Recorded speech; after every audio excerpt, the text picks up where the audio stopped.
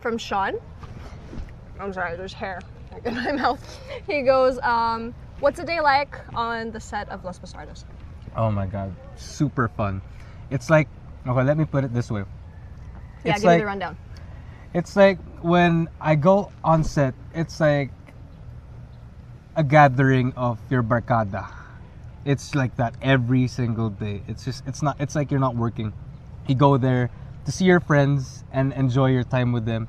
At the same time, all of you share that passion for your craft. So all of you, you know, just jive together and hindi nakakapagod. So pag nandun ako, parang kahit na buong araw kami nandun hanggang umaga, hindi siya nakakapagod because you love what you're doing. You love what you're doing. And the support, grabe.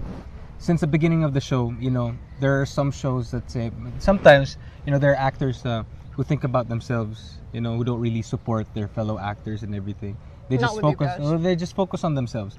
Here, everybody works together to make the show great and that's what makes shows really good is if all the actors all the artists the production the directors the producers they all work together they collaborate to make something really beautiful so that's Los Bastardos for you guys and Wow. you know marami pang aabangan marami pang mangyayari and abangan nyo yan.